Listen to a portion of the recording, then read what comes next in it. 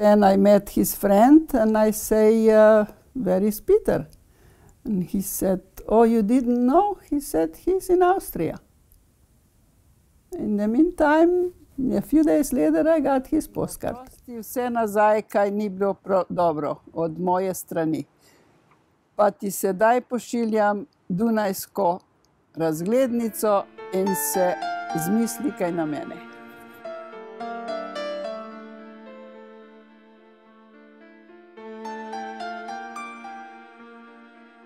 And we started climbing the mountains and my sister started to get tired. She said i want to rest. I said a little longer and then we're going to be probably safe. We go.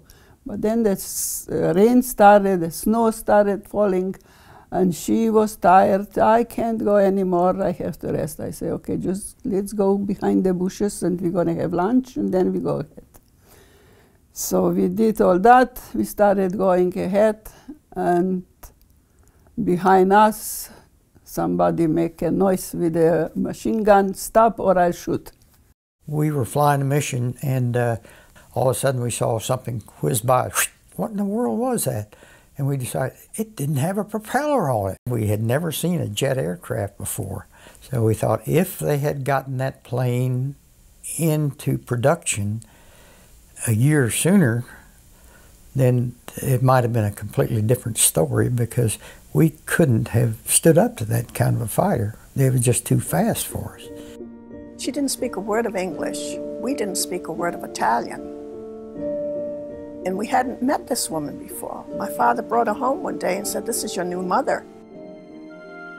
And right about that time, we had uh, uh, come around and we were on a broad reach and looked up to the west and you could see just an angry, angry lip of a squall line coming across. And uh, Rufford capsized. This was cold water. This was in May.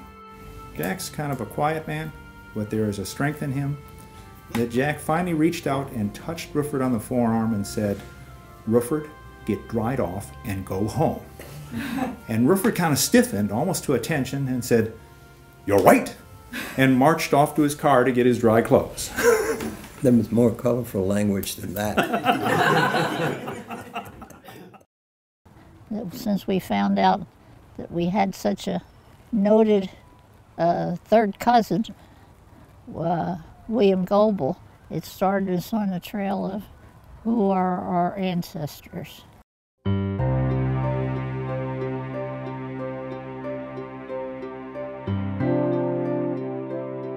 My great Aunt Jewel used to spend weeks with us visiting, and she said that she had a cousin that uh, had been the first Democratic governor of Kentucky, and that uh, he was assassinated on his first day at work. A Yankee and a reformer in a southern state, Goebel spends his political career trying to overthrow the monopoly of the Louisville and Nashville Railroad and the tyranny of bitter ex Confederates. On a cold morning in January 1900, despite many rumored threats to his safety, William Goebel climbs the Capitol steps to begin his term as governor and is shot from behind. I had him not tell his mother that we were looking at rings because I knew she wasn't going to let her boy go. we had gone together for three and a half years before we were engaged, and his mother said, What's all the rush? And then we told my mother and father, they said, Get out the wine, let's have a drink. Two different reactions.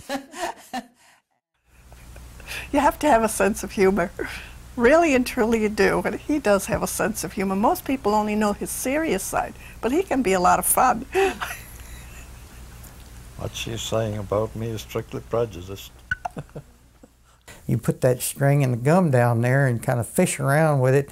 Pretty soon you'd feel a kind of a bite on it, and we'd bring the, bring the string up slowly, and sure enough, there'd be a tarantula on the end of that gum, and we'd uh, take it and, and, put it in a, a, what we call a mason jar, glass jar, put the lid on it, and pretty soon we'd have two or three of those tarantulas, and we'd put them in that jar and let them fight moving in the house was tough because there's a lot to do when you move into a new house.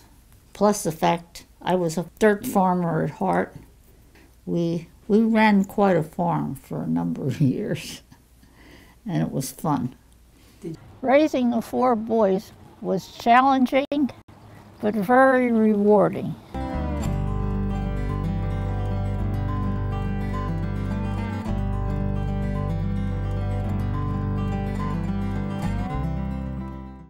And uh, like I said, my brother and myself, we were always singing. He had his song, and I have mine, and we sing together.